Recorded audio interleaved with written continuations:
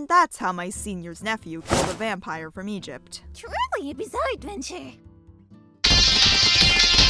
Oh yeah, it's that time again. Ah, better make it quick. I still have to do my dailies in Star Rail and Zenless. Miss Kobayashi, now that I noticed, you always have that serious look on your face. At a certain day every four months. Really? Even more serious than usual. Kanna, you scared me, Verbit. When did you get here? Just now, I was looking for fruit milk. Did you get some? No. Gotta put that one on the grocery list. Anyways, I look like this because there's a certain day every four months where us adults have to offer up what we have to the government. All of it? Even the fruit milk? No, they're not all of it. And I don't think that the government would take those as collateral. I meant taxes, come on. Don't they have human civilizations in your world too? They should have kingdoms taxing people if all my isekai slash fantasy manga and anime would go by. Taxes? Let's just say I have to file in the government's cut to my salary because of the law or some junk. Can't you just not give them any money? I wish, but that's tax evasion, and that's a crime. And I don't want to go to jail. I wouldn't last a day there. Don't worry, Miss Kobayashi.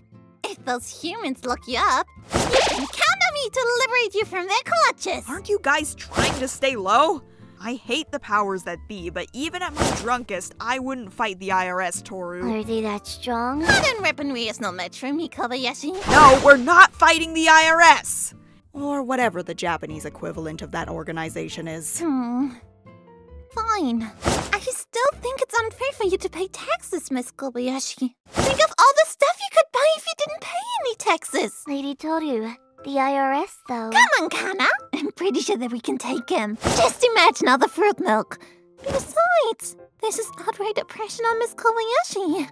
Remember those castle people stressing over those things back in our world? Oh, those kingdoms are probably being funded by taxes too. What? In theory, taxes are basically our contribution to better society. Any more elaboration, and I'd probably sound like a political type. But that's insanity! Those people were nothing but peasants! And they have to pay taxes to those kings with nothing but gold, gold, and more gold to sit on their butts on? Well, we are paying for social services like law enforcement, public transportation, and government service workers. I suppose those people are using that money for the same reason. But Miss Kobayashi! Besides, what does a dragon need money for there? I.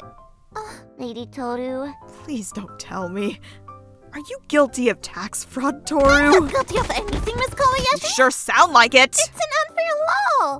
What job can a dragon even do in that world? Um, a lot, actually? I know that dragon fire is pretty freaking useful in a medieval setting. but that's labor! That's my! Tohru, it's an equivalent exchange. And you are a freaking dragon. You can just negotiate for a raise. Well, why haven't you used me then to negotiate a raise at your I don't want to get fired by you using fire, okay?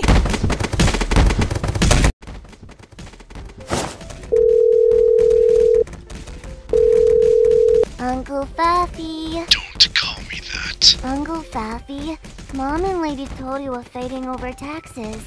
What do I do? Have you tried raising the city to the ground? No. Then I am out of ideas. And the IRS is the problem! We are not fighting the IRS. Tax fraud is a crime, Tohru. It's an obligation! Lady Tohru, I'm gonna go watch Skibidi Toilet on the U-Pen now.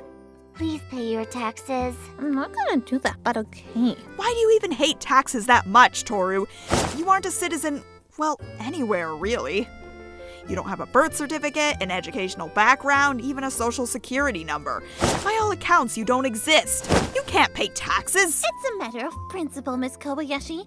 We dragons don't like it when a treasure gets taken. You don't even have treasure. Maybe I would if taxes didn't exist.